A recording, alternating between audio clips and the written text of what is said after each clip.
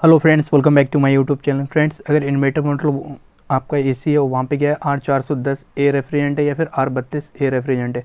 तो वहाँ पे क्या होता है? आर बत्तीस या आर चार सौ दस ए रेफ्रिजरेंट जो होती है, वो इन्वेटर मॉडल जो एयर कंडीशन है उनमें यूज़ होती है। और जो नॉन इन्वेटर है, कुछ उनमें भी यूज़ होती है।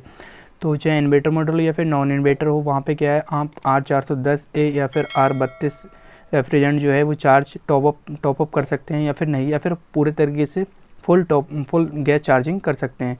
तो यहाँ पे क्या है गैस जो है, अगर उसमें टॉपअप करते हैं तो वहाँ पे कूलिंग अच्छी रहेगी या नहीं, या फिर कूलिंग में इफ़ेक्ट होगा। अगर हम टॉपअप करते हैं तब तो मैं आपको जो तरीका बताऊँगा, उस तरीके से आप करेंगे तो गैस जो होगी टॉपअप कर सकते हैं। वो कितनी आप हो, अगर उसमें गैस है वो कितनी तक आप कर सकते हैं। तो मैं ये भी आपको प्रैक्टिकली सब कुछ बताऊँगा बट उससे पहले आपको करना है, वीडियो अगर पसंद है, वीडियो को लाइक कर देना चैनल पर न्यूज़ देखिए चैनल को सब्सक्राइब कर देना है। टाइम वेस्ट ना कर तो वीडियो करते हैं स्टार्ट। तो सबसे पहले तो आपको देखना है कि आपकी अगर जो एसी है एसी में क्या है?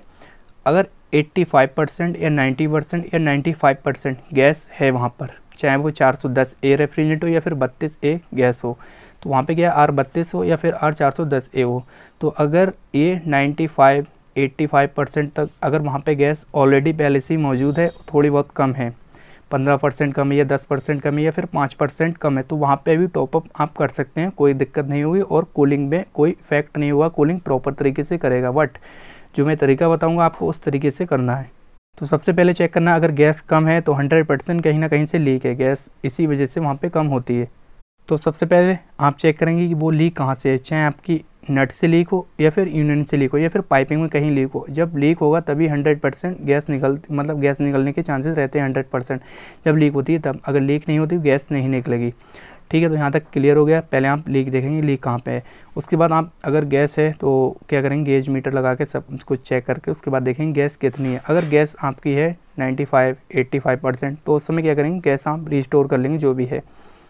तो आपकी गैस जो है रिस्टोर कर ली, उसके बाद क्या है, पाइपिंग जो है पाइपिंग पाइपिंग और इंडोर दोनों आपको फ्लैश करना है। उससे पहले क्या करना है? डिस्चार्ज वॉल बंद करना है। उसके बाद सक्शन वॉल जब आप रिस्टोर कर लेंगे गैस को तो वो गैस जो होगी उसके अंदर आ जाएगी कंप्रेसर के अंदर कंडेंसर के अंदर और उसके बाद जो भी रह जाएगा आपका पाइपिंग इंडोर इन दोनों को अच्छे से वैक्यूम करना है। जब आप वैक्यूम करेंगे, एकदम प्रॉपर तरीके से वैक्यूम करेंगे, उसके बाद गैस जो होगी आप वो रिलीज़ कर देंगे।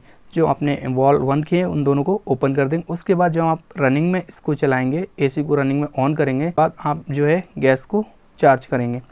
जो भी गैस कम है, उसको आप टॉपअप कर सकते हैं। तो ध्यान रखना है कि अगर 10 परसेंट है या 5 परसेंट है या 15 परसेंट है, तब तो आप टॉपअप कर सकते हैं और वहाँ पे कूलिंग भी अच्छे से होगी। बट उससे पहले वैक्यूम कर लेना है आपको पाइपिंग इंडोर दोनों बॉल बंद करके मतलब जो भी गैस है आप रिस्टोर करके, उसके बाद ये काम कर सकते हैं। तो यहाँ पे क्या है कूलिंग एकदम प्रॉपर तरीके से रहे, कोई दिक्कत नहीं होगी। तो इस तरीके से अगर इतनी गैस है तो आप कर सकते हैं। अगर आधी गैस गैस निकल गई, आधी गैस मतलब है उसमें तो फिर आप टॉपअप करते हैं तो वहाँ पे कूलिंग अच्छे से नहीं करेगा।